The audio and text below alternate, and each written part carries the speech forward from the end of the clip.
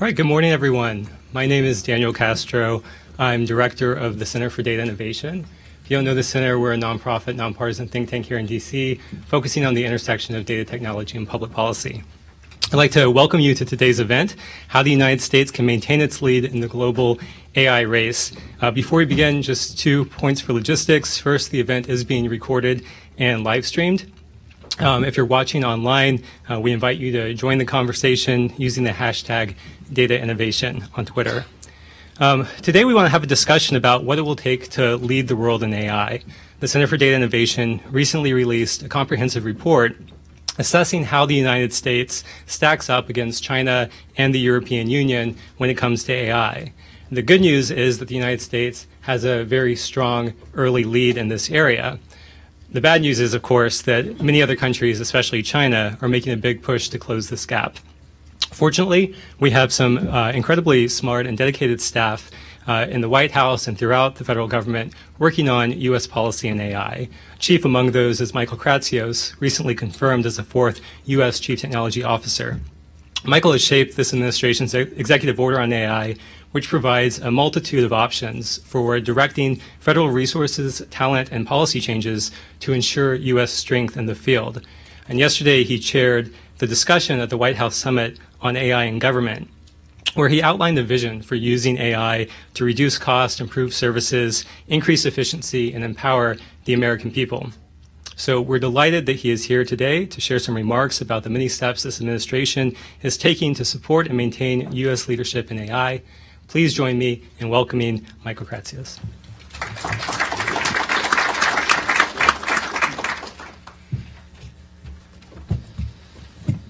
Uh, good morning, everyone. Thank you so much for uh, for having me here. Um, you know, I want to I want to begin by thanking uh, ITIF, Rob, and everyone else um, for for hosting this. Uh, it really comes at a at a critical time for our nation's collective AI efforts.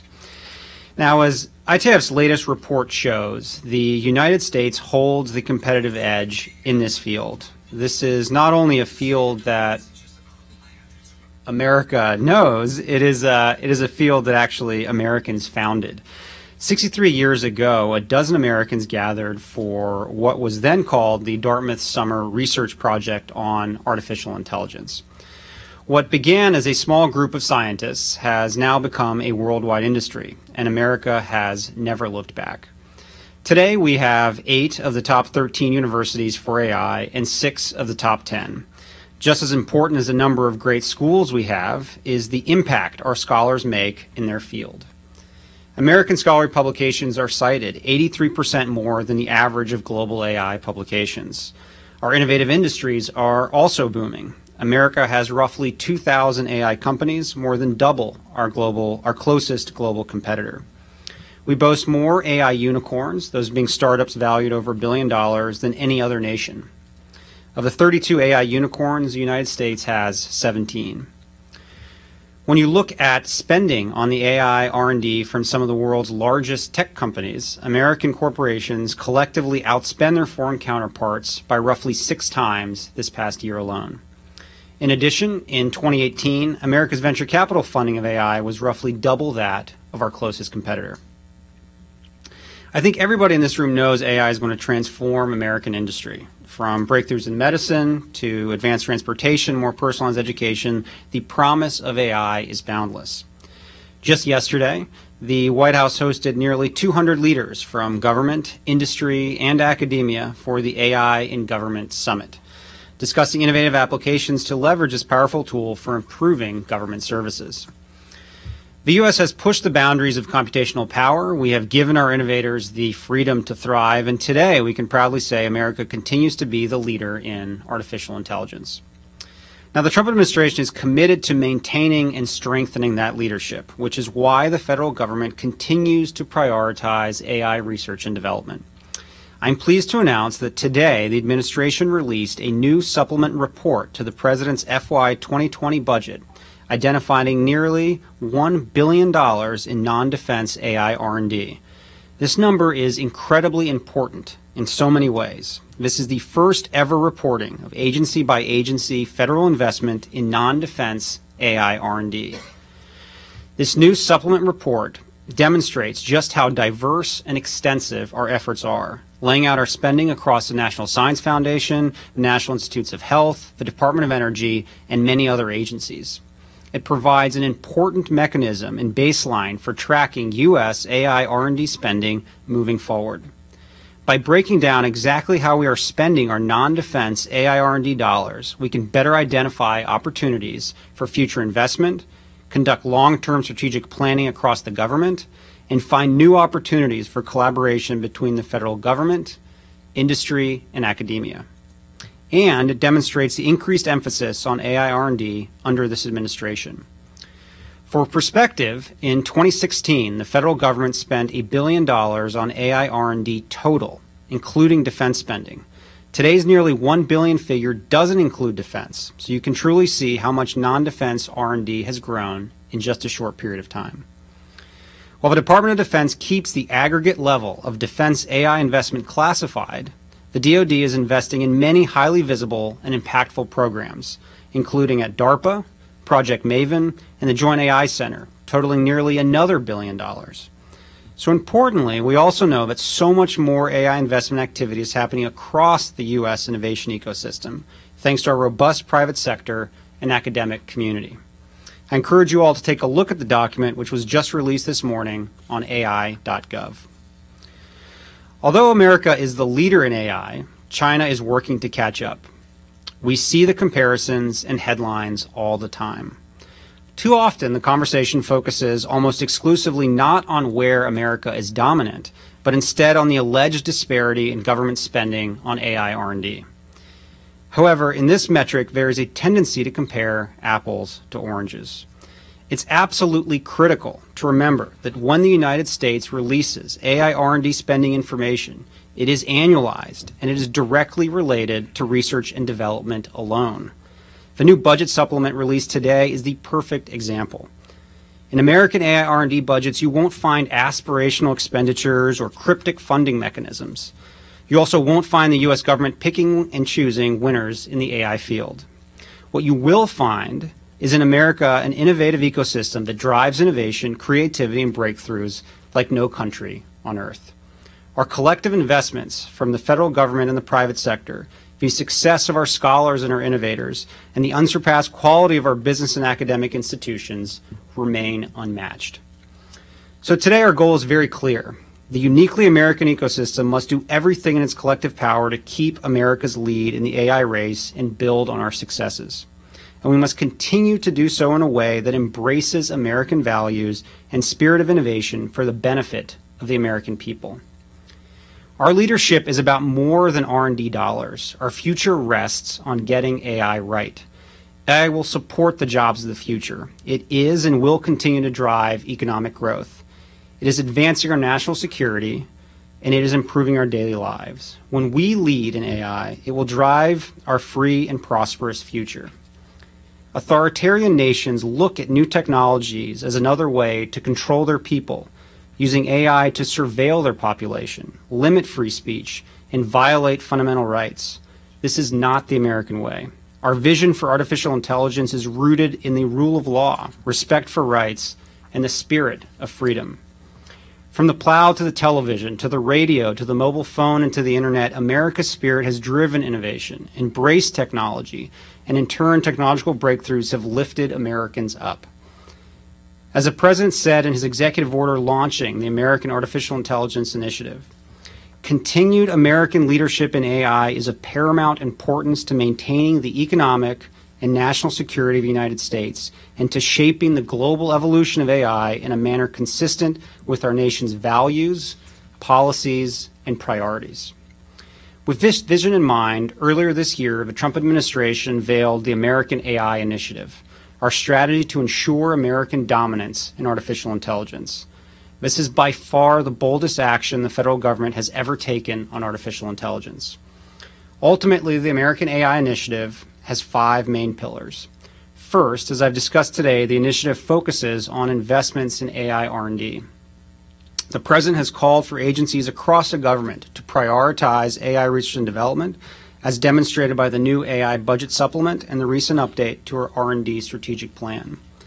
We will continue to leverage America's vibrant R&D ecosystem of industry, academia, and government to advance the most cutting-edge ideas and to bring the developments directly to all Americans.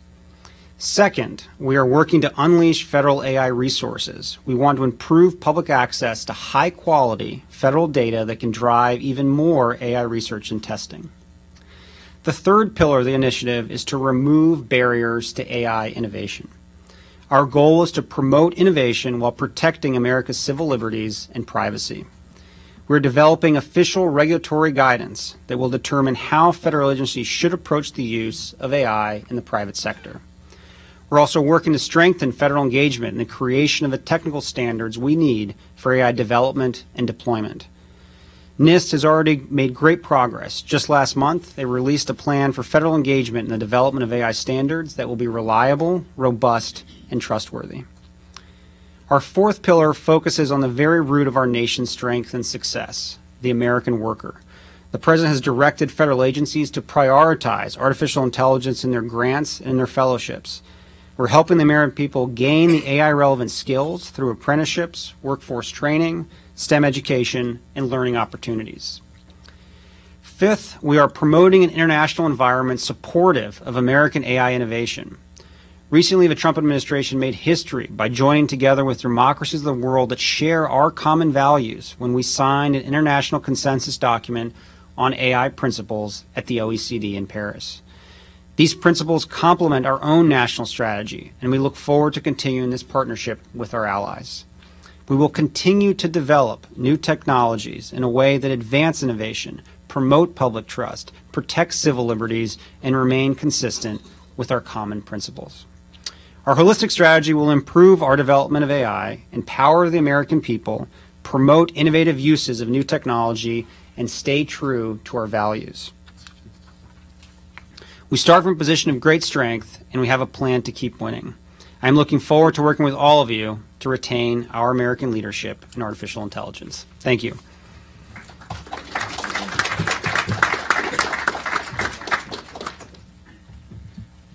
Well, thank you again. That was uh, very much appreciated. And I think really sets the stage for the, the conversation that we want to be having, that we're glad is happening in federal agencies, and, and that we want to see continue in the months ahead. Um, what I'd like to do now is introduce um, the great set of panelists we have here to continue with this conversation. To my left is Frank Torres, the Director of Consumer Affairs at Microsoft. Um, continuing down the line is Fiona Alexander, the Distinguished Policy Strategist in Residence and the School of International Service at American University, and also the former Associate Administrator for International Affairs at NTIA. Uh, to her left is Anthony Robbins, the Vice President of North America Public Sector at NVIDIA. Uh, then we have uh, Jackie uh, Medicki, um, the Director and Managing Attorney of U.S. AI and Healthcare Policy at Intel um, and Michael McLaughlin, a research analyst here at the Center for Data Innovation, who is um, the lead author on this report that we recently released, um, ranking the U.S., China, and the EU. So thanks to all of you uh, for being here today and for not having even longer titles, because I don't think I get that a lot. So I, I want to start. Uh, there, there's three main questions I want us to dig into today. Um, the first one is uh, the, around this theme of, of, why does U.S. leadership in AI matter? Um, then I want to talk about how the United States compares to other nations in AI, and then I want to get to this, the I think the core question, which is how does the United States wish to be doing to maintain or increase its leadership um, in AI? So let's start with the, the first question, um, which is really the, the fundamental one, which is, you know, should the U.S. government be focusing on this? Is AI leadership something that's important?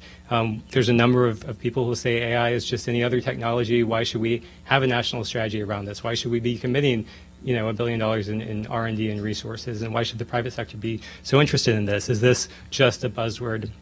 Um, so I want to open that one up to the panel. Um, Frank, maybe I'll start with you because Microsoft – uh, what's always so striking to me about Microsoft is people often don't remember that Microsoft's one of the, the leading computer science research institutes basically in the world. And it has been forever, I mean, you know, since its, its beginning. And so when we talk about AI and its early, early origins, you know, you've had researchers at Microsoft working on these problems since, you know, before they were buzzwords. So I, would love to start with your perspective.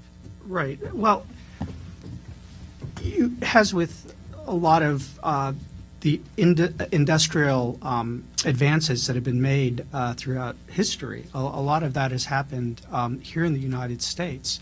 Um, it- it's interesting because with AI, it's it's slightly different in that it's it's more global probably than any other thing that we've experienced, and in terms of like an industrial revolution, if you make that comparison, certainly we're poised, um, uh, you know, to continue to be a leader simply because we've got that leadership capabilities. I mean, just given uh, the way, say, even Microsoft has gone uh, about development of technology since our founding um, and our evolution as a company and our learnings, both from our successes as well as our mistakes.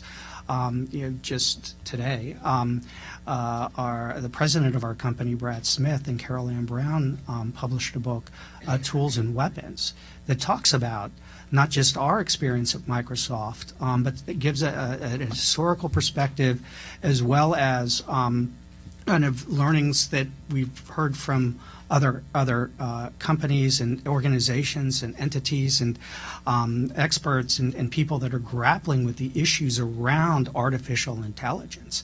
Um, you know, so uh, you know, it, I advise folks to read the book. I went through it last night, um, and uh, very, it covers a lot of ground, but in a really um, understandable and, a, and, an approachable way, in a way that just makes almost common sense.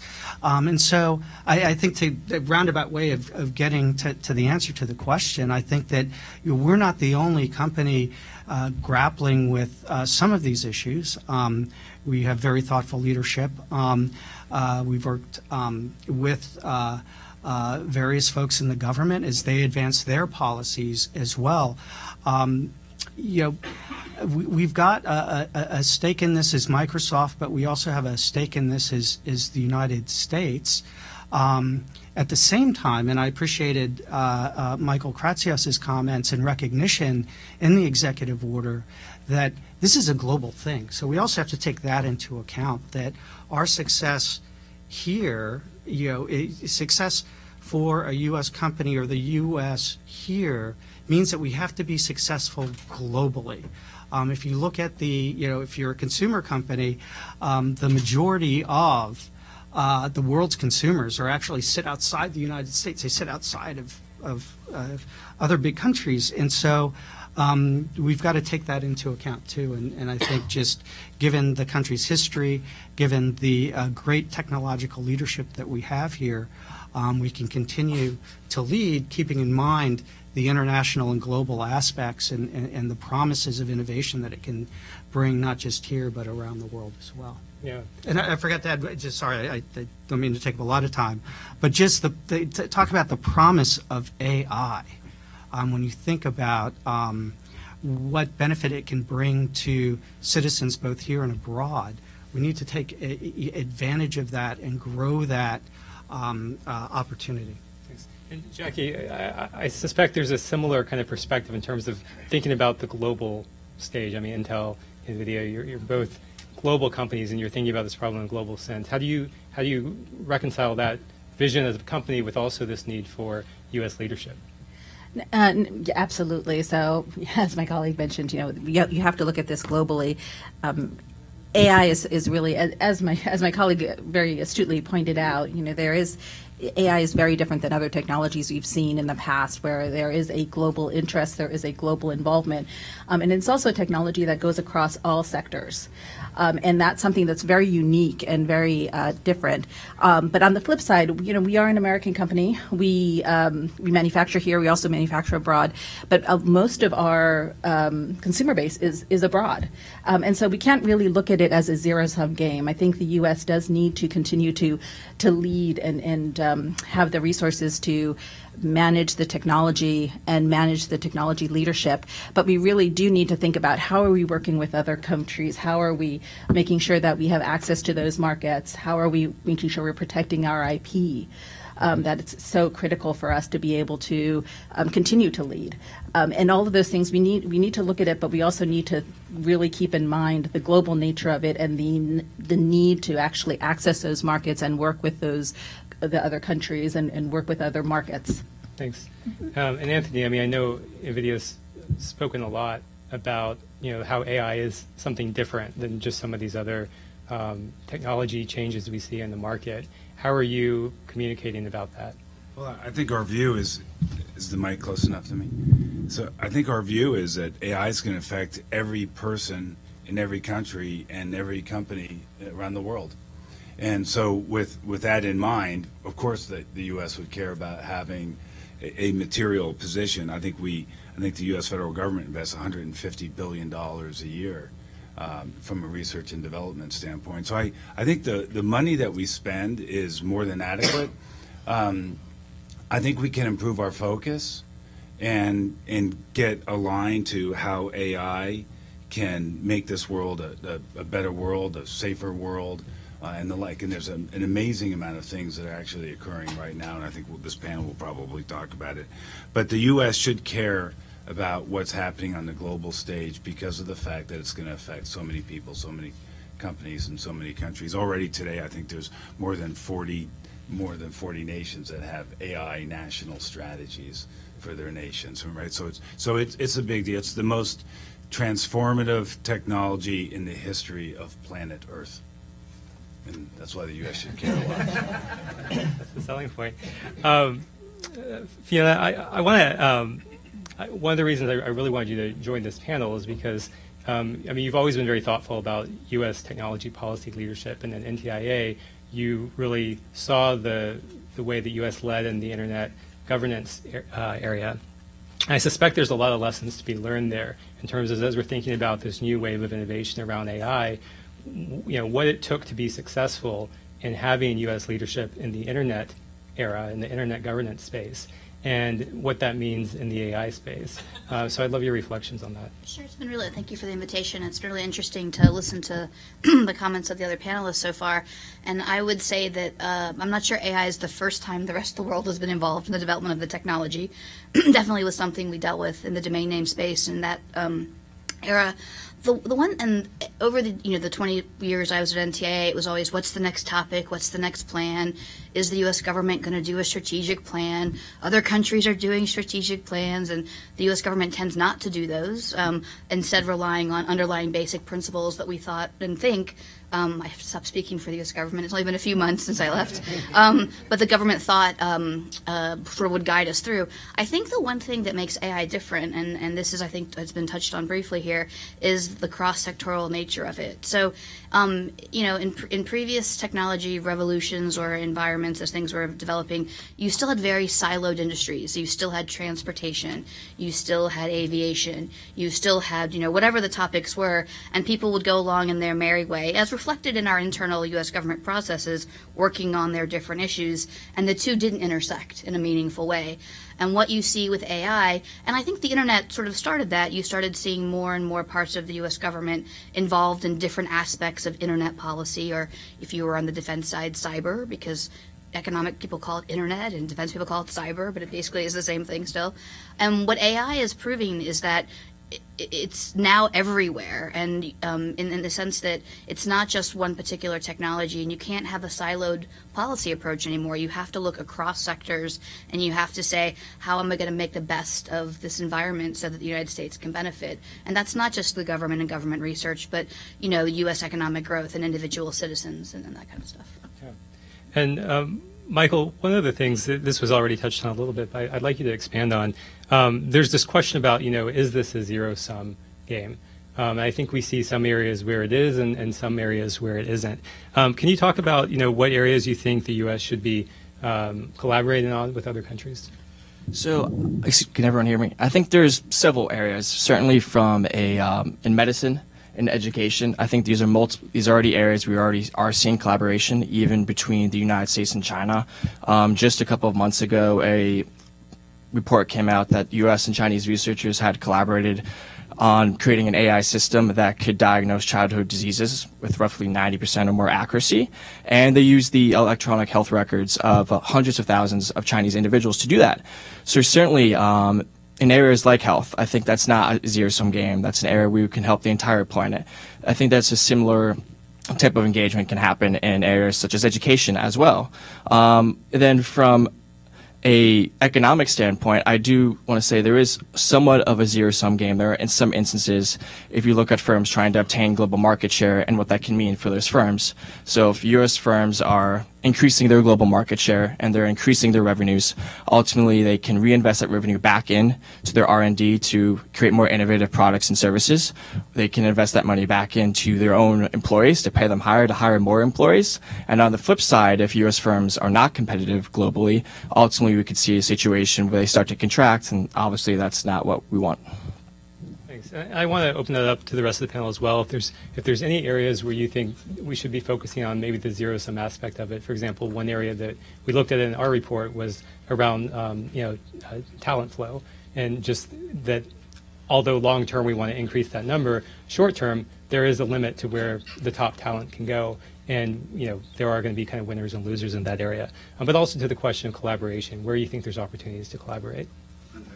On the collaboration st- uh, standpoint, I- I think it'd be interesting if you follow what the Joint Artificial Intelligence Center is doing around humanitarian assistance and disaster relief.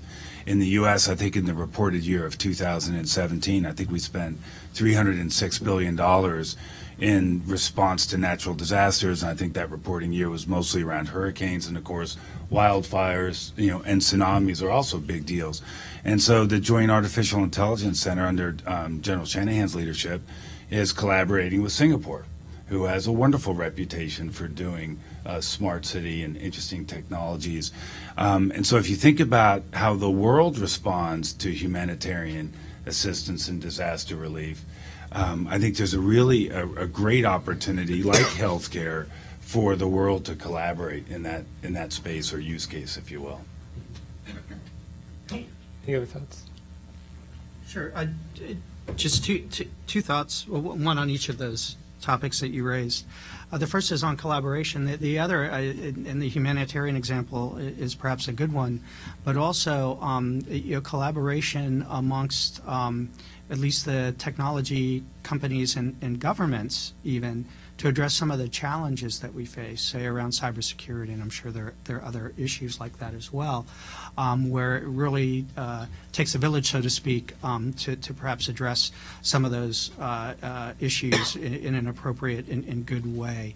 Um, uh, just you, we talk about. You also mentioned talent. Um, just two aspects of that. I, I don't want to make sure don't, don't get left out. One is, you know, there's certainly talent at the university sort of level and the grad level and the researcher level, um, and those people tend to be brilliant. I've had an opportunity to spend an awful lot of time with some of our researchers, and you always learn something new or look at things a different way um, in, in how they go about solving problems that have lots of lessons, I think, for for governments and, and, and everyone else into how, how to solve real world problems using this technology. But you've got to start somewhere. And I forget, I heard a number yesterday about the number of computer science teachers that we graduated in the country last year.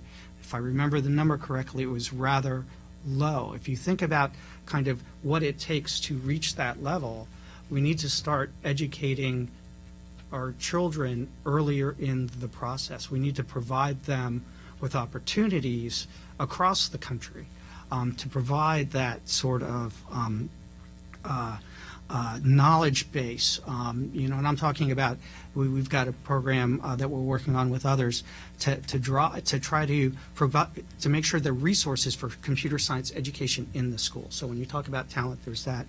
There's also, um, and, and you may be getting to this uh, later, but how how do we address uh, issues uh, uh, surrounding making sure that the current workforce um, has the opportunity to get skills um, or retraining if that's needed as well. And so there's a, a lot of different aspects of this that if we want to be successful and want to be a leader, we've got to look at the uh, whole picture. So I would just add um, another area where it's important for the U.S. to be collaborating with others is making sure that you're setting the right policy environment. And this is particularly important because AI is, is based on data, and these data sets are global, and you want to make sure you have great free-flowing data and free-flowing global data sets. So uh, Michael had mentioned the exercise of the OECD, um, which culminated in a recommendation, and then the G20 adopting these principles. But you have to do more than just develop and principles; you actually have to implement them. And so the OECD is going to be going forward, I think, and, and starting this this fall and developing some practical steps to help countries figure out how to implement these principles. Um, and there's a policy observatory. But at the same time, there's still a thread and a, a big push in Europe to look at more, I would say, maybe GDPR like approach to AI, which is not necessarily going to be great, I think, for what people here want to do. So that's going to be a challenge. How do you engage in a collaborative way and focus people into the OECD, but still recognize even some of your closest allies have a very different approach? And I, th- I believe that, um, you know, France and Canada and others are still continuing on a global panel on artificial intelligence, and I don't think the U.S. is a part of that exercise, instead focusing on OECD. So that's going to be an important place to navigate and figure out what to do. Can I stay with you on, on that point about how other countries have different perspectives on this? Because that was also true in, in the internet era. And I think one thing that helped the U.S. Um, influence globally what other countries decided to do around internet policy was the fact that we were home to some of the top internet companies. Can you talk about kind of your experience in, in terms of interacting with other countries? Because there were so many debates about you know issues like content, uh, free speech, you know what type of things should be uh, you know copyright issues that consistently came up where the U.S.'s interests and perspectives were very different than many other countries, and how you'd kind of navigate that and how that might play out in this So I think it's important. You can't engage enough with people if they have different perspectives from you, right? It, it may sound a little bit challenging, and the conversations can be hard. But until you sit down across the table from someone and talk to them, you don't understand what they're actually trying to get at.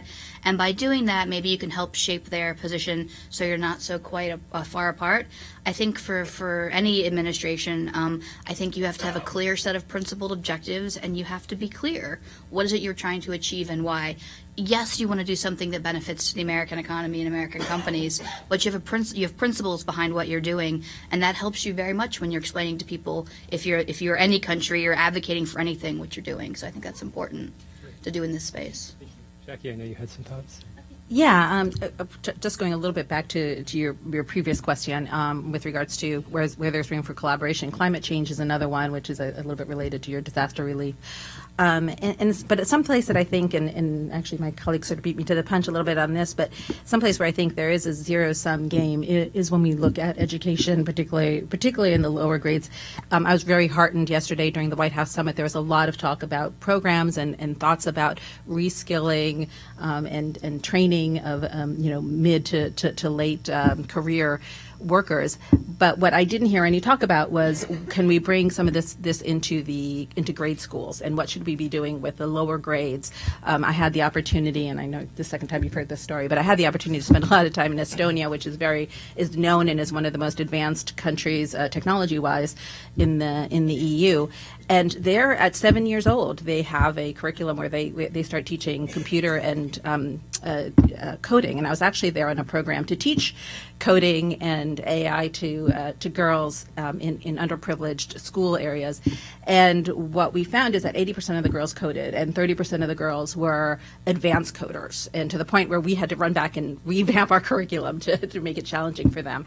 But when I see that, and I you know, I have children at home and I see what they can do, I'm, I am a little bit concerned that, that we're not talking more about starting younger because these kids, when they come into the workforce, are going to be the ones that are going to really drive this innovation even further um, and, and add a whole lot of value and I can't let let go without sort of jumping on your point a little bit, which is I think another big miss for, for the U.S. is our is our failure to have a robust national privacy legislation that that um, really sets the bar. Right now, we have all all these states. I think there's gosh a ton of them now that, that have legislation either in process or enacted that is creating this patchwork of regulations that, that just makes it more difficult. Um, and we need to have regulation that, that's really thinking about making data available. So how do you also not only do you protect it and do you want to um, have all of the right protections around the use of the data, but you also want to have data that you can use for, for these technologies. And I think that's a really big miss on our part, on the U.S.'s part. Great, thank you. Um, I, I, think that's a great segue to um, the next question I had, which is you know really about how the United States compares to other nations. Um, I was really struck by you know Michael. I thought made a great point earlier about you know we want to make sure we're not comparing apples and oranges. Um, uh, Michael McLaughlin here, um, when he was working on this report, I think did a lot of work to make sure that while we had data on apples and oranges, we tried to harmonize the data so that it was comparable. Uh, Michael, I just want to ask you to talk a little bit about, you know, what you see in kind of the key points in terms of what the data shows about how the U.S. stands. So I think Michael Kratsios did a pretty good job of laying out why the United States leads, and he's certainly uh, correct in that. That's what the data shows. There is a, a but attached to that, and that's China and the threat of China. So if you look at the AI race from, or break it down into six different categories, from a research standpoint, a talent standpoint, the ability to develop firms, the hardware that's powering AI systems, and then as adoption and data, you'll see that the United States leads those first four areas, and that China is actually leading in adoption and data. So in research, the United States leads because, as Michael said, we simply have the highest research quality by far of any major nation, really outside of uh, the UK as well. Um, from a talent standpoint, we also lead from there because we have, um, quite frankly, the best researchers in the world. Um, but in both those areas, if you look at research, um, China's research quality has improved vastly over the past five years. Um, they also publish more AI papers than us every year. So they may never reach our research quality, but if you look at, say, um, the Inst- Allen Institute for Artificial Intelligence came out with a report this past year that showed that there's a real threat in the next five or so years that China surpasses the U.S. in terms of the top 10%, 5%, 1% of most cited AI papers. Then, if you look at it from a talent standpoint, um, there is a, a fairly large talent gap right now between China and the United States. However, this is an area where you know the Chinese government has put in a plan to um, train 5,000 students over the next five years in artificial intelligence to minimize that gap. Um, as far as the ability to develop firms, fortunately, we, we do have the most startups in the world. We have the most startups that have received more than a million dollars of funding. Um, we have our firms acquire more startups than any other um, country in the world. Um, there too, though, over the past two years, while the U.S. leads, say, in venture capital and private equity funding, um, China has received about 80% of the level of the United States. That may sound like there's a decent gap there, but if you compare that to the European Union, which is about you know one fifth of, of the level of the United States or lower, you see that China is really actually competing with us there. And then lastly, in hardware, thanks to firms such as Intel and Nvidia, you know we do have a great lead there. Um, some experts have said that you know China might have a better opportunity to compete in creating semiconductors specifically for AI purposes than the traditional semiconductor market overall. And then in the last two areas, which is in data and adoption, I'm sure most people here are probably not that surprised to find out that China's leading in data due to its large size. But um, in adoption, that's actually one of the surprising areas we found, was that Chinese firms are actually adopting and piloting AI at higher rates than both U.S. and Western firms.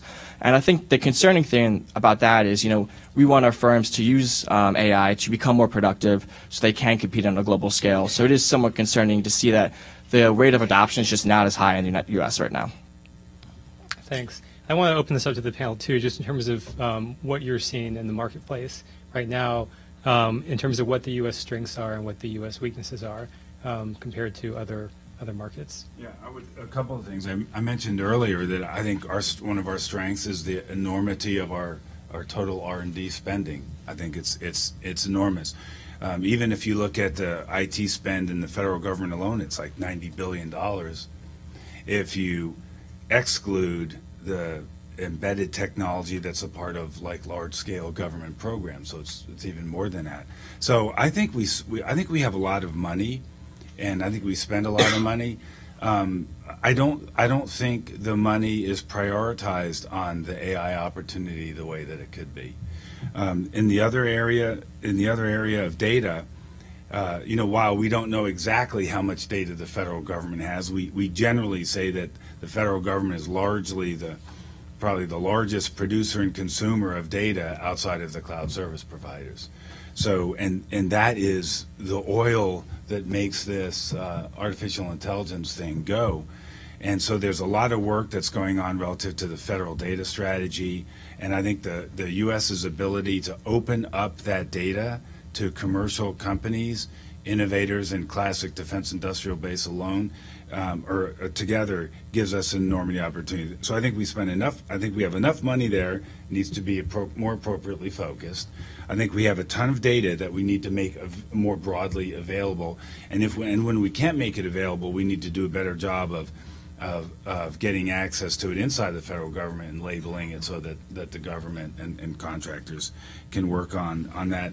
And then Can I just ask you before you move on um, on the the R and D funding part? When you say it's not prioritized correctly, uh, what would you change about that? Can you be a little I more would put a lot more money on the AI thing. So, so you know, Michael Kratsios today said, you know, reference putting a billion dollars on that, and that's interesting, you know. But it's, you know, but you know, we'll spend billions of dollars trying to build the fastest supercomputer in the world, which is down at Oak Ridge, you know, and and so the the number is interesting, right? It's it's certainly more interesting than at the time that the executive order on artificial intelligence was signed in February, there's no really, there's no funding that was kind of applied to it. And that was a big question that, that, um, that the industry had. Okay, where was the funding? So a billion is certainly a great thing and it's certainly very interesting, but it's not nearly enough. If you think about the transformative power of artificial intelligence against the use cases. Uh, Look, in, in the case of waste, fraud, and abuse, the U.S. spent 147 billion dollars, you know, last year, and 147 billion dollars of taxpayer dollars in the area of waste, fraud, and abuse, and that area can be tackled by the use of data analytics, data science, and artificial intelligence. You know, and the same with healthcare and cybersecurity and humanitarian and, and assistance in disaster relief. And, and I'll just take one other example. Um, so the, the number one financial challenge in the Department of Defense is platform sustainment. It's not, it's not like that interesting, you know, but that's the number one financial challenge across the, Department of Defense. So if you take like the Joint Strike Fighter, it's going to cost a trillion dollars once fully fielded in 2035. 700 billion dollars of that cost is going to be in sustaining the platform. After the amazing engineering that takes place to, to build it, conceive it, and field it, 700 billions can be spent to to maintain it in the field. And that's just the Joint Strike Fighter, and there's platforms across the entire Department of Defense. And so Ellen Lord and, and Mr. Roper and all have said that platform sustainment is a priority and it's a challenge for uh, AI and data science. Yet, if you look at the funding that's occurring there, right, you know, we, we're doing million dollar awards to startup companies. But the reality is, you don't get AI into operations in areas like platform sustainment unless you come into the defense industrial base. So I think, so why we have this infatuation with Boston, Austin, Silicon Valley, and the like, I think we should, and we should be excited about the startups and the innovation that occurs. We should not miss the fact that the defense industrial base is actually what's going to get us into operations. And so I think we have to inspire the adoption of artificial intelligence against key use cases and inside of the big companies in the U.S. to go at speed and scale. Check. Well, I was going to say, I, I read your report, and I actually really loved the idea of sort of looking at AI from the point of view of development versus adoption. Um, and I do think that adoption and, building trust in the U.S. with the use of AI is, is really something that, that's lacking and something that there needs to be a lot of focus on.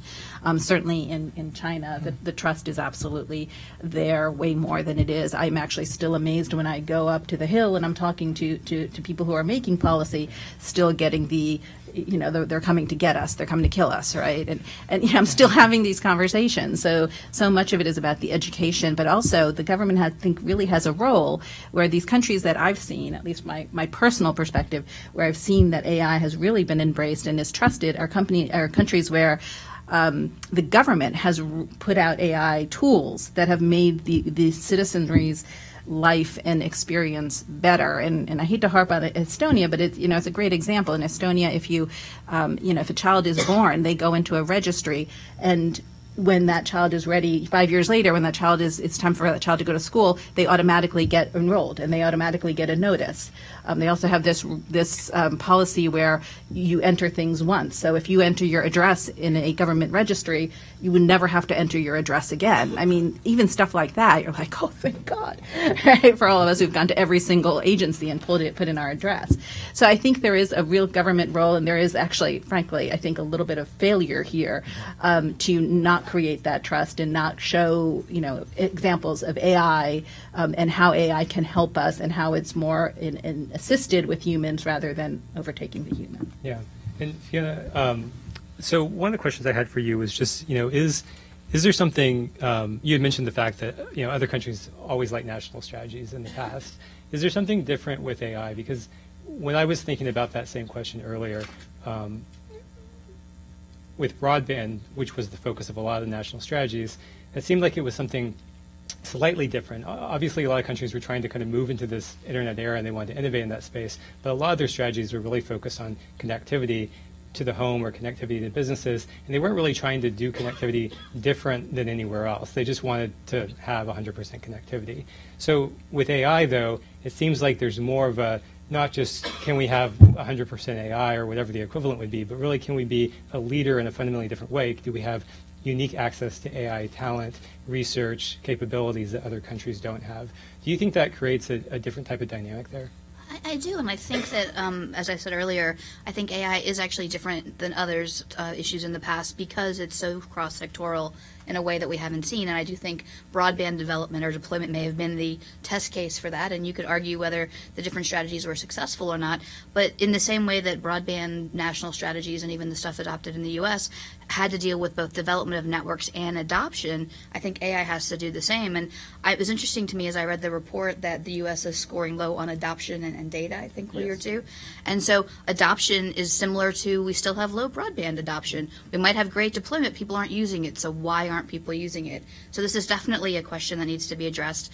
And then the reason you're probably scoring low on data is this lack of a clarity on what our privacy regime is. Um, and again, I think you know um, the benefit of, spe- working across four administrations is I can talk about what I did in all of the different ones.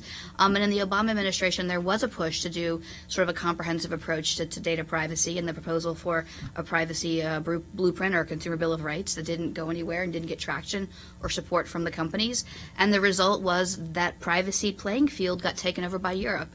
And GDPR is now setting the standards, whether you like it or not. And the question is, how do you deal with that? So if you don't step in in this next set of issues, you're going to have the same problem as, as a U.S. in terms of leading and impacting it. So there's got to be a way to deal with what is our what is going to be our regardless of where you sit on this fence.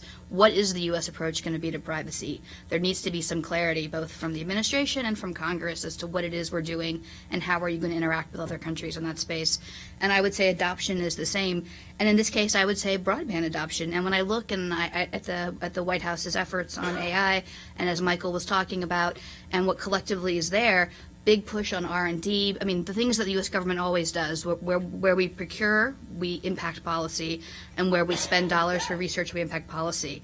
So that's happening and that's going along. You know, you could argue it's not the most effective, I think, as you've described, or maybe it needs to be more targeted, and then U.S. data sets. But what's lacking really is this clarity on policy. And there's, you know, privacy is not part of this AI strategy. Broadband is not part of this AI strategy. Maybe someone needs to take a look at that if you're looking at American leadership going forward. Yeah. yeah. I was going to say that, that there's been a, a, lot of good issues uh, raised here on completely agree on, on broadband band adoption. Um, you know, AI adoption is certainly important, but there's certainly still parts of the country that aren't connected yet. Um, and, and, we need to solve that. And uh, we've got a, an initiative called the Airband Initiative uh, that, that's um, you know really making great strides in, in, in trying to, uh, in, in typical Microsoft fashion. Um, my, one of my colleagues, Paul Garnett, has very strong metrics that he has to meet. And how, how many people are we connecting um, or helping to connect, working with, with local partners? Um, and, and so that's going to be uh, critically important if, if we want adoption. Um, uh, on, on data, certainly a, a, a great points that, that, have been raised here, and, and you know, uh, in, in, Brad's book, um, he talks about he calls it kind of the open data revolution. How, how, do we open up data sets, not just that the government has, but that other people may have? Uh, Daniel, as you know, um, we recently put out some model uh, data uh, sharing agreements um, because it does get a little bit complicated. You know, it's one thing if you own the data and the data is yours and you want to share it. Uh, it's another, but still retain some ownership of it. It's another thing if it's pulled down from public database or if it's proprietary. Um, you know, certainly. Um, you know, before you share it, that there, you, you, probably want to put some things in place. And so, you know, we've got to work through some of these issues. I mean, with the government setting, I think some of the issues there is simply the data siloed. I mean, I think that happens, uh, you know, perhaps even uh, across companies. It's not machine readable. It's in different formats. You hear all these sorts sorts of things. How do we solve that problem to allow for access to, to the data? And then there's, you know, there's the, the privacy certainly aspects of the issue, and I think uh, that that is going to um, be one that we're just going to have to resolve. You know, strong interest in protecting users' privacy, yet in order to drive AI innovation, you need access to data. You know, say in the healthcare setting, it can do all sorts of wonderful things. At the same time, highly sensitive. The potential for harm, if it's abused, misused, leaked out, um, is great. So how do you kind of resolve that? That's going to be, I, I, I think, a critical question that we have to answer. But even going beyond that, there's the whole panoply of uh, and very important uh, issues around uh, data ethics, and, and um, I, I know that, that Michael Kratsios uh, uh, spoke about kind of the civil rights components. I, I think he's getting at kind of the, the fairness and bias issues. How do we kind of be thoughtful about that and really look at the implications? Um, I've learned that as much as time as I've spent on privacy and looking at some of these issues, when I talk to some of our researchers, some of this stuff gets really nuanced, but it's important to try to figure out what the implications are to make sure that, that the data is being used in the right way that really helps, um, you know, everyone uh, uh, uh, across the, the, the, the country. Um, Thanks. Um, I, I think it's really interesting that you mentioned um, data, and, and obviously um, uh, Fiona had just mentioned the, the privacy aspect. Uh, in one of the Euro- European Commission uh, divisions, just put out a paper about the impact of GDPR on scientific research and you know the, the unintended consequences basically that they were seeing and how you know that's one of the problems with some of these regulations is they don't kind of see how it ended up locking up some scientific data um, because of concerns about how it could be shared. And I think that's a, an important question that we have as we're thinking about data as you said Frank I mean in so many different domains that we're going to have to make accessible. And, and just one other point, as we move towards 5G, right, the, the issue is more profound, right? Because we're going to go from hundreds of millions to billions and trillions of devices on networks creating this enormity of data that's beyond, I think, what most people are actually forecasting. So this data challenge gets bigger, you know, quickly here. Right, absolutely.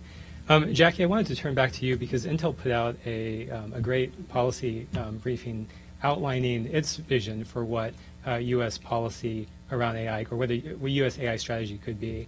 I wanted to ask, I know you've talked about a few of these already, but um, what are some of the other ideas you have in that document?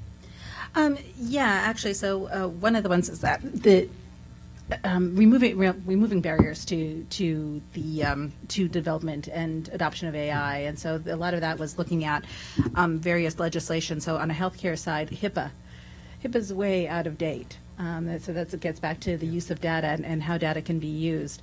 Um, you know, if you start looking down the sectors and all of these highly regulated re- regulated sectors, you'll see that you know some of the uh, barriers to adoption are, are very much within the regulations. You know, particularly in the financial sector. If you think of what China is doing in terms of their banking and, and being able to integrate all of their banking, that's something that would be very difficult for us. Um, the other two, it's interesting, we had pillars also. Um, we looked at liberating data. We thought that was key, and so we've, all, we, we've touched on that. Uh, workforce issues, and that's from, from cradle to grave, again, talking about you know grade schools and reskilling. Um, and um, and then research and development. We I agree with my colleague here that the the this what it's wonderful to hear about this additional um, funding being allocated, um, and that that you know it's absolutely needed. But if you look at the the uh, the investment that we've had, um, you know, and taking account for inflation, it's very stagnant. We're nowhere near what we should be if we had continued to invest in the way we had invested, you know, when we started really thinking about doing some of the, you know, getting our technology industry really ramped up. Um, I really do think that there is need, the need for sort of a moonshot where we're really looking at all of these issues and, and creating like major funding for a lot of the different um, research that needs to be done um, in academia. There needs to be more research uh, funding provided. They they are struggling with getting. You know, I think my, my colleague mentioned about the, the the amount of people graduating with. Um, computer science degrees, but we're also seeing that they're having a hard time keeping that talent. Um, you know, honestly, the private sector is very alluring um, because there, there's just more money there. But there are folks who want to do funding and want to be in academia. So if we had more funding and more gr- grants and more research money there, there would be more more happening there too. So um, those are all the things that, that, that we included in our recommendations for the national strategy. We do feel like there should be a national strategy, if nothing else, to be more um, focused and targeted in, in our approach to, to AI. Right. Um, and Frank, I want to come back to you because one of the issues about um, talent that we haven't touched on too much yet is around diversity. And that's obviously been a, a theme of, I know, some of Microsoft policy work as well. Can you talk about what you're doing in that space as it relates to AI? Yeah, so um, I, I can't even be, begin to stress um, the importance of diversity um, in the development of this new and emerging uh, technology. Um, uh, is is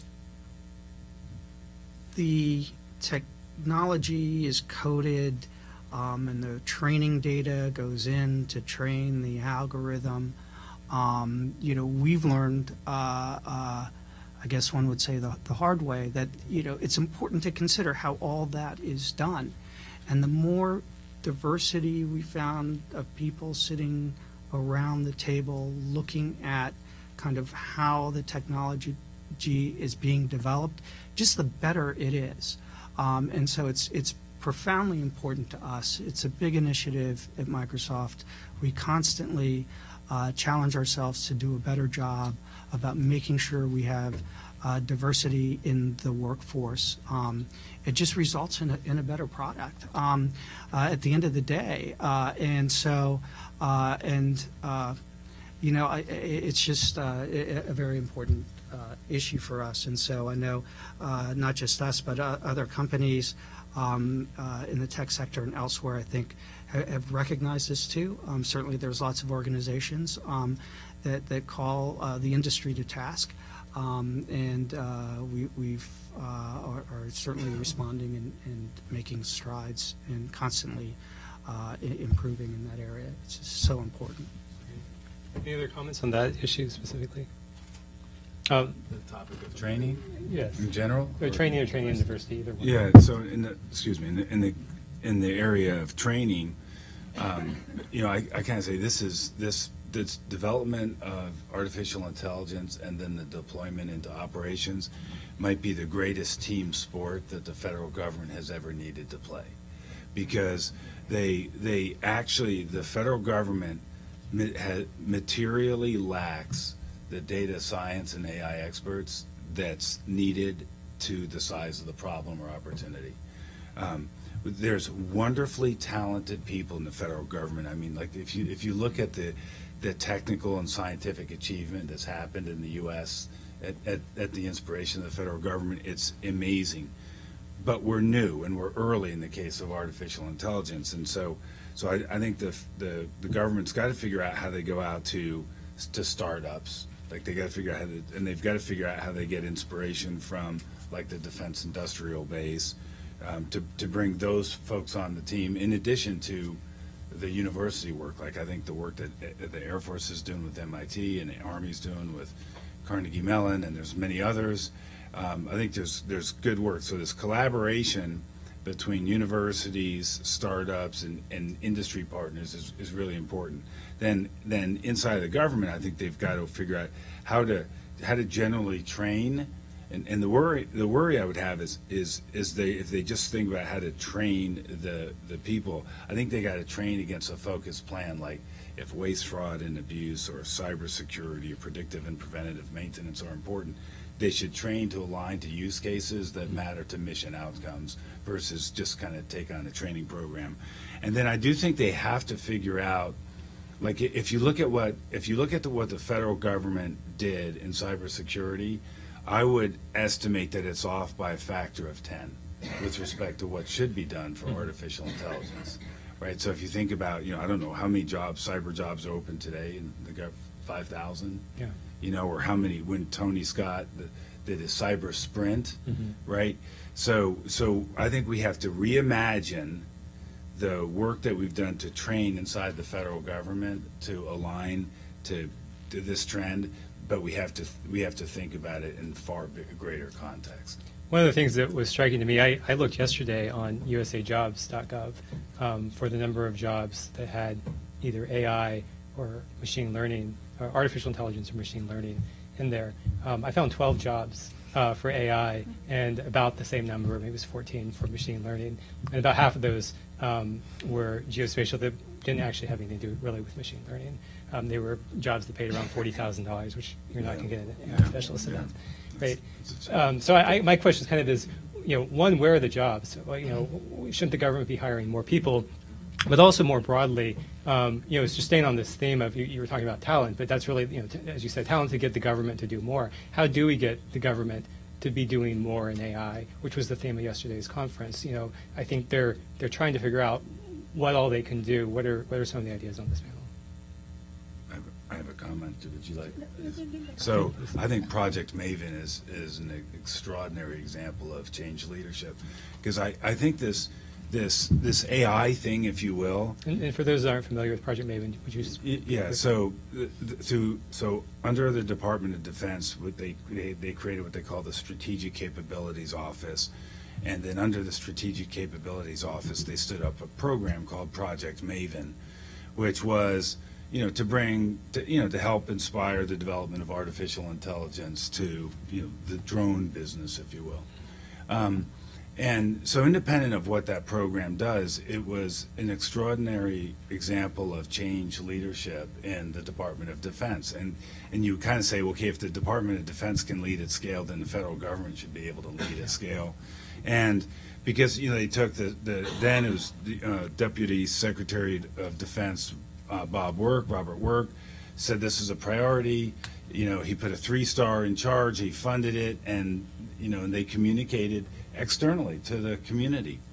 And and and so they, I just thought it was like this kind of pathfinder of change. I, I, I think if they could replicate what they did on Project Maven for waste, fraud, and abuse, predictive and preventative maintenance, and and it, there's a part of that that they're trying to do along these NMIs, excuse me, national mission initiatives, and component mission initiatives in the Department of Defense, where they're trying to take health, command and control, cybersecurity, uh, pre- predictive and preventative maintenance, like these use cases. So they're they're trying to they're trying to get this use case alignment, but that's on the DoD side, and I think on the civilian agency side, I think there's a chance to to replicate kind of this focus. And to me, it seems like it's all about the use case, the talent associated to the use case. You either recruit it or you train it or deploy it. There's the infrastructure that you give them to do the work, and there's the data that they have. Right. So those are kind of like the components, many of which are addressed in the executive order. But I think if they fund if they fund the big use cases that make a difference to this country, you know, I think we can go faster. And it, and I will just kind of share that that there was a, a former political appointee who re- resigned recently. She she said to me that, you know, she wasn't worried about any country. She was worried about the Americans. Like so so if if we if we come to the table with all the resources that we have, we will be just fine. Uh, we have to more aggressively apply the resources that we have in an intended direction to get an outcome that we desire. Yeah. there's a lot the U.S. government should be doing. Um, it, to, what I was surprised about yesterday is, as I was listening to some of the examples of different um, ways that they've been using AI within different agencies, was just how basic the AI that they were implementing really was. Like, you know, in terms of the, if you listen to that and you're like, yeah, the machines aren't coming to get us anytime soon. Like at this point, we're just, we're just analyzing data, right? Um, and there seems to be really a lot of low hanging fruit. So, for example, one of the things that was interesting to me was, you know, this NA, uh, NHS, no, what was it, the NHS? Anyway, the agency that that was uh, reviewing their their their regulations for outdated um, and overburdened. What, what, It was HHS. HHS. Uh, they one of the things that, that I kept thinking that I kept thinking is why aren't all agencies doing this? You know, they refer to it as a pilot. Um, it, you know, it seemed rather preliminary, but I was like, this is just basic stuff. Um, and one of the things that, that really highlights is again, there's really some low hanging fruit and some baseline. Um, you know, the, the executive order was just like the bare minimum to move AI forward. There's some really baseline things that need to be be done, including, you know, the, the siloing of the agencies is a problem. Like that they can't use each other's resources. The, the the fact that they're not talking to each other. The fact that their systems aren't interoperable. These are all things that need to be fixed if, if we really want AI to be adopted in the government in, in a meaningful way and in a, the, the most successful way, I, I think. So I think there's there's a ton of really basic work that needs to be done to, to set to set the stage for, for successful use of AI within the government. And just staying on that, I, one of the themes that I thought came out of the conference yesterday was um, a tension between pursuing lofty, grand goals of let's have transformational change in government through AI versus there's all this low-hanging fruit. Should we just try and do that first? Um, I'd love to get some perspectives on, on what you think the government should be doing in that regard. It's a, it's a classic challenge. It's a classic challenge in the leadership equation of, of driving change and transformation. You want to look for uh, small opportunities to be successful as quickly as you can, right? So so taking smaller bites of the apple is a really good thing, right? Um, yet yet at the same time, we've got to aspire. Kind of, you know, you mentioned moonshot. We've got to aspire to some some bigger things because the the the amount of people that we have and the, the amount of funding that we have and the size of the problem that we have does suggest that we have to go take on some bigger challenges as well.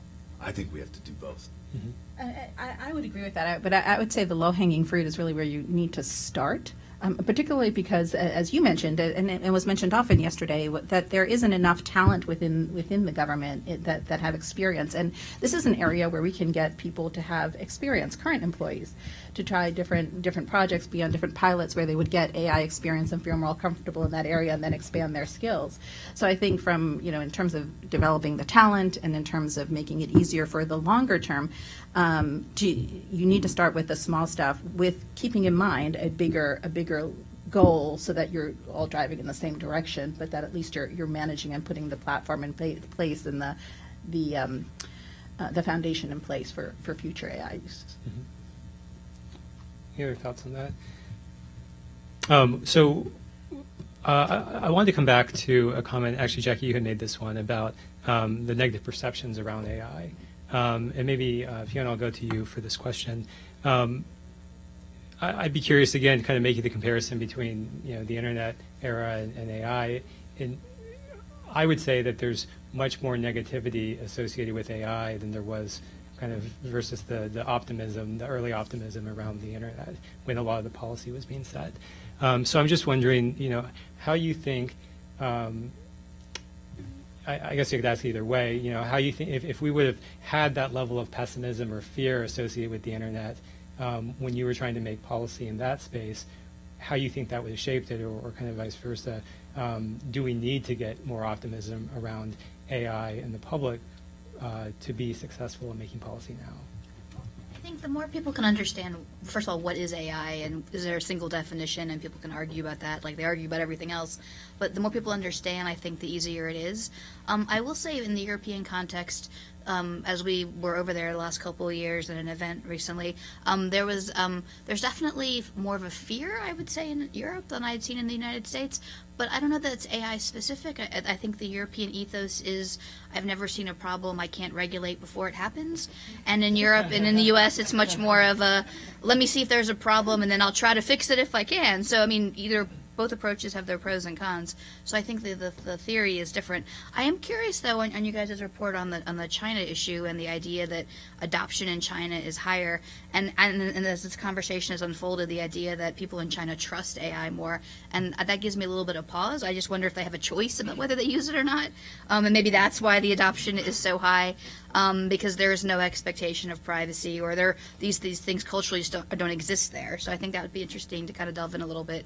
But I do think that. Um, you know, in the United States, um, I just don't that people think about it as much. So I think if you can educate people, if you can start talking about it, the more you can make it a part of conversation, then it becomes, I guess, um, more involved. I mean, many people probably don't realize how much of their life is AI is involved in it already, right? I mean, so if you don't if you don't talk about it, you don't know it. So then you don't know that it's a good thing. You don't know that you're benefiting from it. So maybe even some general education on that could be good.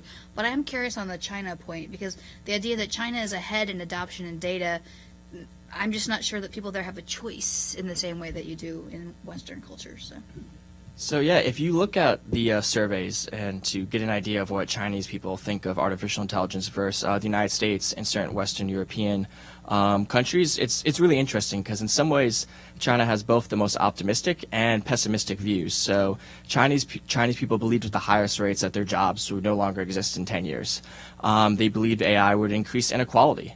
Um, yet at the same time, they believed AI would create more jobs, would create more wealth, would make them, uh, would help them do their job and make their lives easier. So I think that's ultimately where you start to see some of the um, possibly higher adoption rates because it is interesting when you say if you compare the U.S., China, and EU on adoption, and then you compare them on just their overall positivity about um, AI as a technology, you really see those two mirror each other. So on adoption and piloting AI technologies, you see a, a fairly sizable gap right now between the United States and China, China number one, then the United States, and then a smaller gap between the United States and European Union. And that really mirrors the views, where Chinese people have the most optimistic views of AI. Um, U.S. Um, U.S. citizens are not as optimistic, and then there's another gap, which I think Fiona mentioned um, from the regulate regulation standpoint, even between the United States and uh, the European Union. So I do think that um, there's sometimes a, I guess, a caricature of Chinese people where they um, maybe you don't are only optimistic about AI, but I think there is starting to be a conversation there in terms of AI ethics and privacy rights that are happening in China. China, but at the same time, I think, um, at least from what I've read, people discuss this more as a techno utilitarian culture that can see the benefits of AI, even if there are some concerns. Um, I was going to just mention too. There, there was a, the Ford Global Trends survey. Um, one of the things that was interesting about that report is that there were um, at least a couple of years worth we could see the uh, for China the they they changed the questions each year, but it was generally a question around how much do you trust AI, and the numbers dropped some over time, as you would expect with any kind of optimism curve. Um, so I thought that was interesting. Uh, Also, we found when we did some surveys in December in the U.S. um, that there's a clear gender gap um, in terms of optimism about AI. Um, and we saw in another survey that there's also a clear gender gap in terms of uh, men say they know what AI is at higher rates than women, which trust AI more partially than probably women, do you explains. uh, so w- w- uh, men trust AI more than women, or uh, put differently, uh, women were less optimistic about AI, men were more optimistic. I think there's also a relationship to, if you just take the federal government, if you go back to when we were going, bringing mobility solutions into the federal government, there was all kinds of concerns about, you know, mobility devices. And, and we look at these, these technology trends as kind of waves, and that was like a technology wave the cloud wave followed, right? And then there was all, there was even more uncertainty relative to the cloud, and it was mostly around security, Yeah. right? But the side, the the amount of concern that was related to security, I think, was related to the size of the wave, which is it was a transformational. Um, it was very transformational with respect to the enterprise and the federal government. So now here comes this AI thing, and there's fear, uncertainty, and doubt that's related to change, and it's and I think it's proportional to the size of the wave because the AI transformation that's underway is is larger than all the prior waves that came before it combined. Yeah. So I think it's largely aligned, but it's something that has to be dealt with. And I think there's all kinds of work that, that the government, like the, the, the Defense Innovation Board, uh, or somewhere in the DoD, I don't recall, just opened a job for an AI ethicist, right? And the DIB has been in, I, I don't, I lost track, but uh, here in DC and, and, and Carnegie Mellon, maybe Boston and the Valley, having listening, you know, conversations to, to try to understand, you know, the concerns so that they can then figure out how to do outreach in a meaningful way, so. Right. Um, well, I want to open it up to uh, the room. I know we have a lot of people here. I know we also have a lot of people uh, on the live stream. If you're on the live stream, again, if you use the hashtag data innovation, um, please feel free to send that in.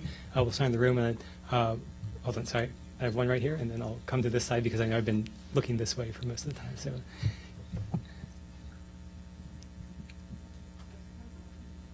And- okay, so we have right here, and then we'll come over here.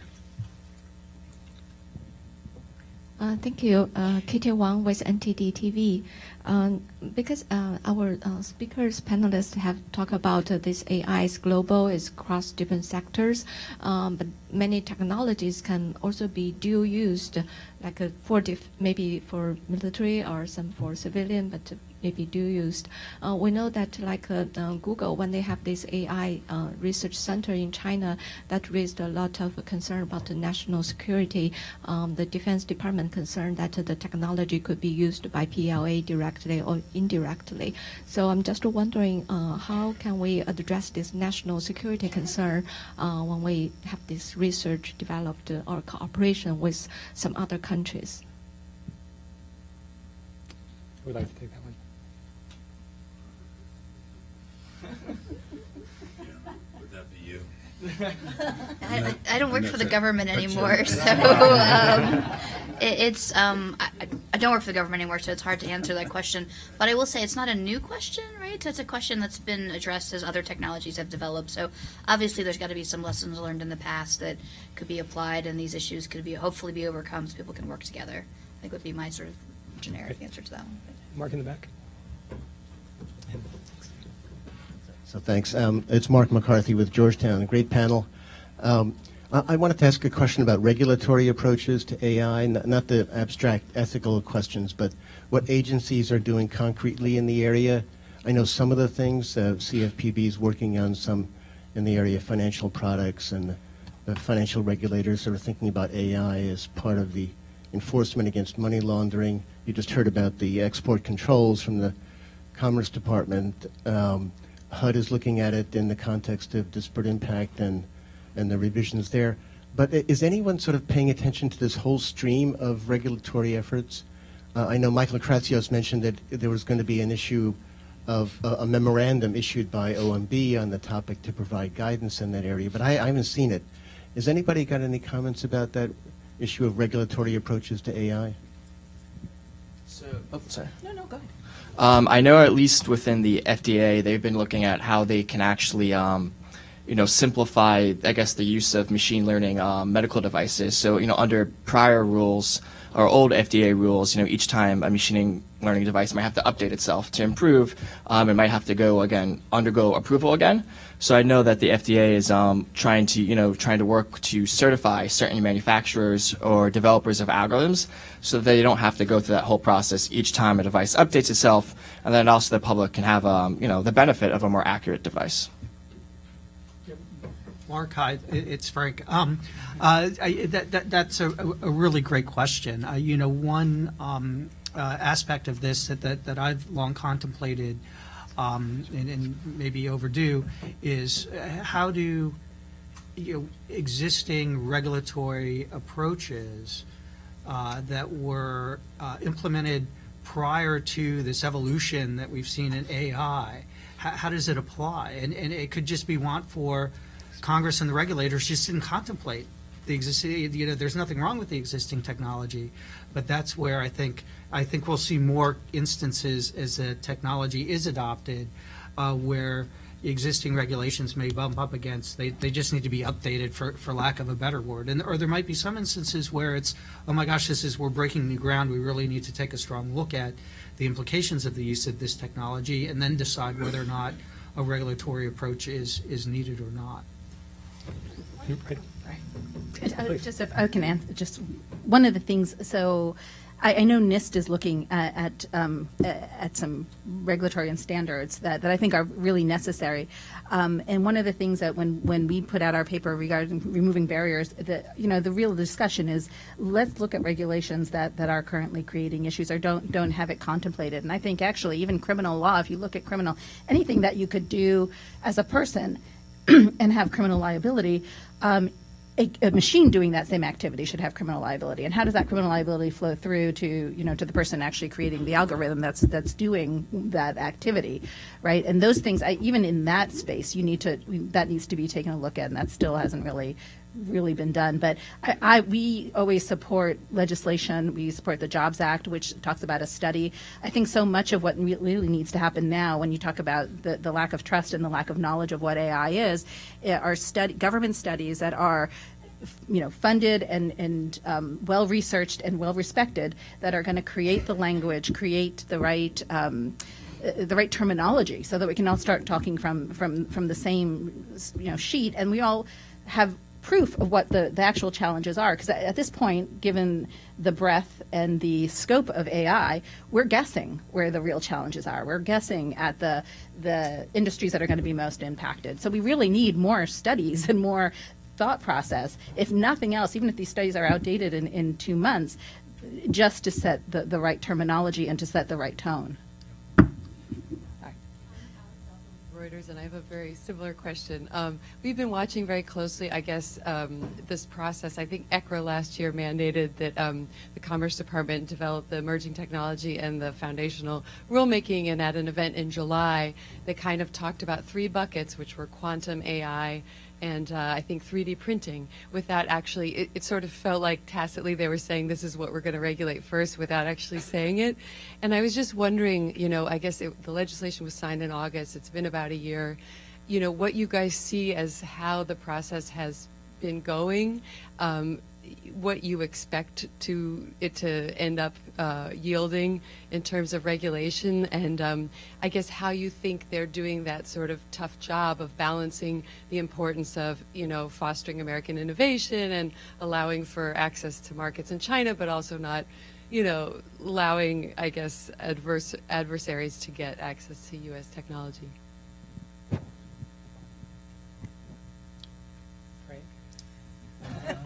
That, that, that, that one's a little outside of my bailiwick. Okay.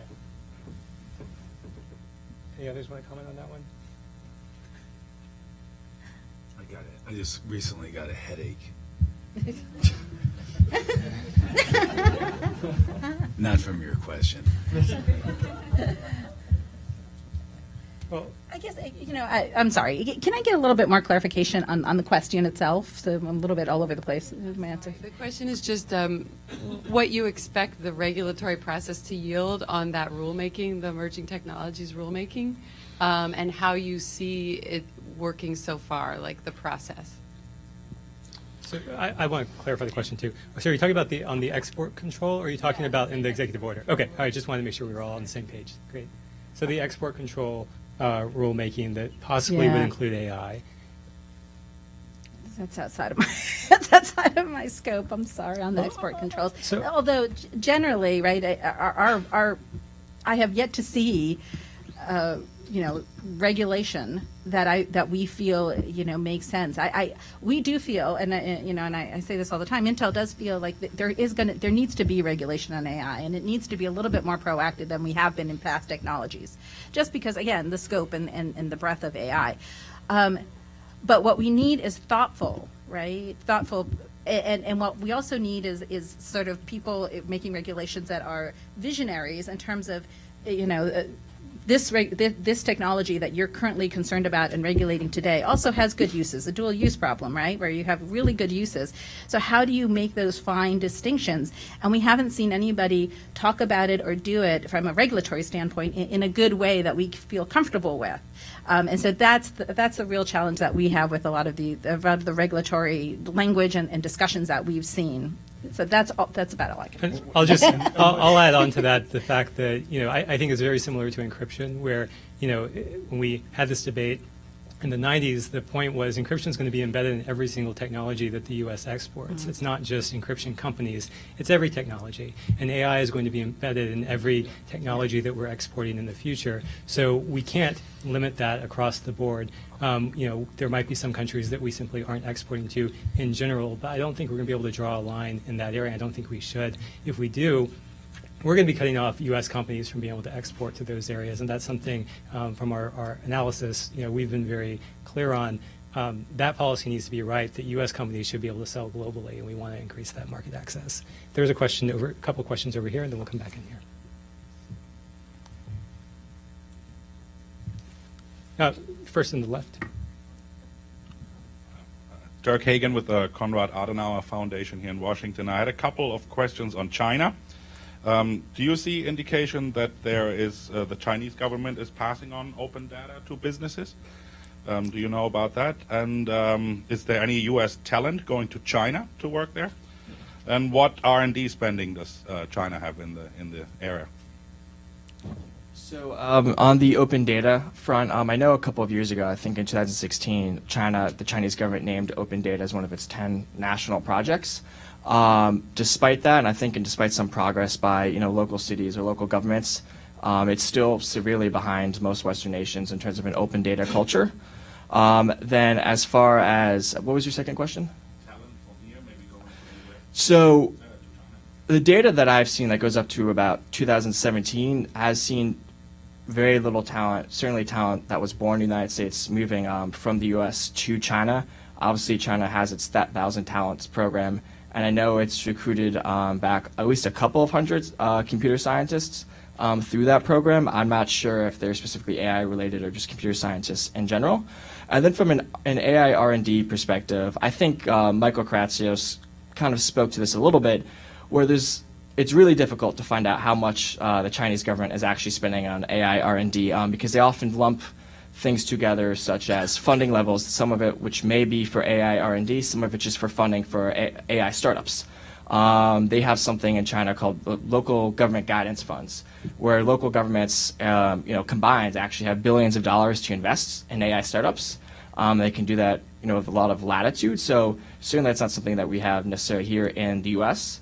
But so the really only way we could compare directly with China is if you look at, say, you know, software and computer services firms, the firms that are most likely to spend um, a large, a decent chunk of their R&D on AI, and see how they compare. So if you look at, say, like the top 100 firms in the world for doing that, I think 62 of them are in the United States, 12 or 13 are in China, and 12 or 13 are in the U- European Union. And I think that goes back to that number that Michael Kratz just mentioned, where U.S. R&D spending by like these tech firms is about six times higher than Chinese firms. Um, so it's difficult to get an exact idea, but what the data does um, indicate, or at least portrays, that the U.S. likely leads from a private standpoint um, by a decent margin. Thanks. Right here, and then we'll go right here. Right. Uh, yes. Tony Samp, Tony Samp with DLA Piper. I um, uh, thank you, everybody from uh, in the panel. Uh, one of the points that Jackie mentioned, the positive narrative about AI, I think that's a, a, great point. I think it's something that needs to be reinforced. And if any of you have uh, practical examples of AI that can be most beneficial, I think that helps tell the story and, and, and uh, helps the overall cause of AI. Uh, so, two part question that one. The first, and then the second if there's a lot of calls for additional federal funding in AI. Uh, in what areas specifically do you think uh, would benefit most?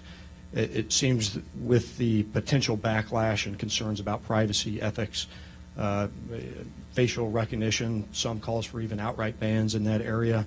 It might be beneficial for uh, an accuracy and explainability. Uh, two suggestions there, but I'd be curious the panel's thoughts on those two. Michael, do you want to take that? So uh, can you just, which question would you like, yes, like to answer first there? Why don't you take the facial recognition one? Um, so from a facial recognition standpoint, actually there was a somewhat encouraging development just this week where I think was it Pew Research Center came out with a survey that actually said that 56% of U.S. citizens were um, were okay with the police using facial recognition as long as there were guardrails. Unfortunately, you know, there was a lower um, I guess, acceptance of that use by uh, certain minority groups. But certainly, what we've argued is is that cities such as San Francisco or, or Oakland, um, when they ban the technology, they ban the actual benefits of using the technology. So we already know that um, police departments around the United States have used facial recognition to find um, victims of human sex trafficking online, to find missing children. Um, so I think those are clear benefits that we've already had that they're going to lose. Um, then right now in California, there's actually a bill called uh, AB 1215 that would ban the use of facial recognition and body cameras. Now, I think we're for putting some guardrails about how long they can have that data, who they can scan faces, what the database they can scan against. But by banning that, you're banning the, you know, the excuse me, the benefits of using that, say, at large public events to possibly identify, quickly identify people that may be on a watch list or something like that. So I think one concern within the United States is if we move towards a more precautionary principle, European style of regulation, where we try to or we try to ban anything that could possibly have a negative use. Um, so we have uh, one more question there and, and, one right here. Take them both.